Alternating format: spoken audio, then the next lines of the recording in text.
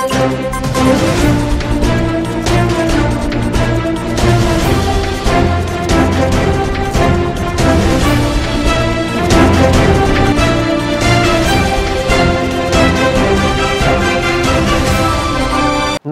હું છું સંજય રાવલ. સુપરફાસ્ટ સમાચારોમાં આપનું સ્વાગત છે.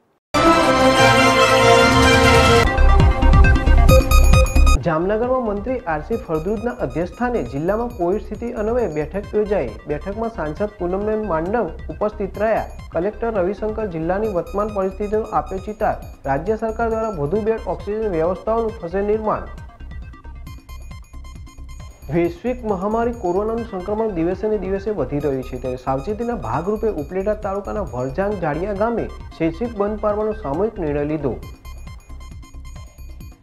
ચોટીલા ચેમ્બર્સ ઓફ કોમર્સ દ્વારા હાલ કોરોનાની વકરતી પરિસ્થિતિને કારણે શૈક્ષિક ચાર દિવસ ચોટીલા શહેરમાં ધંધા રોજગાર બંધ રાખવાની જાહેરાત કરવામાં આવી.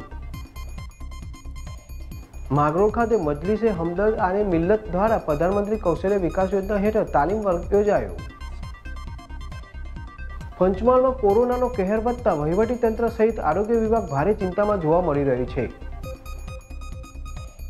નવસારીના ટાટા સ્કૂલ પેટ્રોલ પંપ સામે આવેલ ખાટકીવા મસ્જિદને આજે નવસારી પ્રાંત અધિકારી તુષાર જાની દ્વારા સીલ કરવામાં આવી.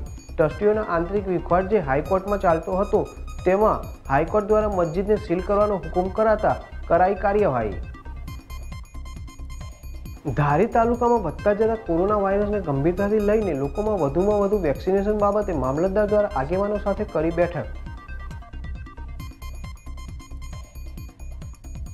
પાલનપુરમાં માલમ દરવાજા વિસ્તારમાં રાત્રે વીજ ડીપીમાં ભીષણ આગ લાગી.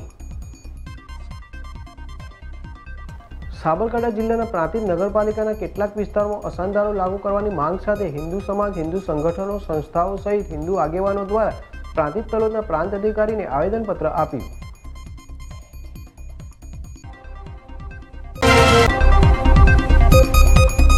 સાબરકાંઠા જિલ્લાના પ્રાંતિજના ભોયવાસ વિસ્તારમાં મકાનની જમીનની અદાવત રાખી એક ઇસમે યુવકને લોખંડની પાઇપ વડે હુમલો કરી ફ્રેક્ચર કરતા પોલીસ ફરિયાદ થઈ.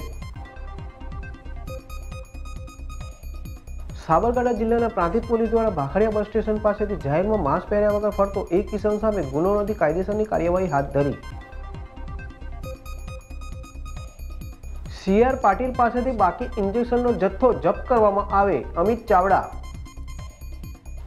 ત્રણ વર્ષમાં અમેરિકા અને યુરોપ જેવા રસ્તાઓ ભારતમાં હશે, ગડકરી. કુંભ મેળામાં ભીડ ઉમટી, અનેક સાધુ સંતો કોરોના પોઝિટિવ. અમદાવાદમાં સંસ્થાનના મેનેજરે કહ્યું, દિવસમાં ચારથી પાંચ વખત રડું છું. હે ઈશ્વર, બચાવી લે. ભાજપના નેતા સીએમને નિષ્ફળ સાબિત કરવા માંગે છે. શક્તિસિંહ ગોહિલ પાંચ વર્ષીય બાળકીએ બનાવ્યો રેકોર્ડ. એકસો પાંચ મિનિટમાં નોનસ્ટોપ વાંચી નાખ્યા છત્રીસ પુસ્તકો. કોરોનાથી દર્દીનું મોત થતા સગાઓએ સોલા હોસ્પિટલમાં કરી તોડફોડ. વણસી રહેલી પરિસ્થિતિને આજે ચીફ જસ્ટિસની બેન્ચ સુનાવણી કરશે. ઈરાનના પરમાણુ યુનિટમાં અચાનક વીજળી ગુલ કચ્છમાં ફોર્ચ્યુનર અને બાઇક વચ્ચે અકસ્માત, બેના મોત. સુપ્રીમ કોર્ટમાં પચાસ ટકાથી વધારે સ્ટાફ કોરોના પોઝિટિવ. તો આ સાથે સુપરફાસ્ટ સમાચારો અહીં સમાપ્ત કરીશું. અન્ય સમાચારો વિસ્તારથી જોવા માટે જોતા રહો જેડએસ ટીવી.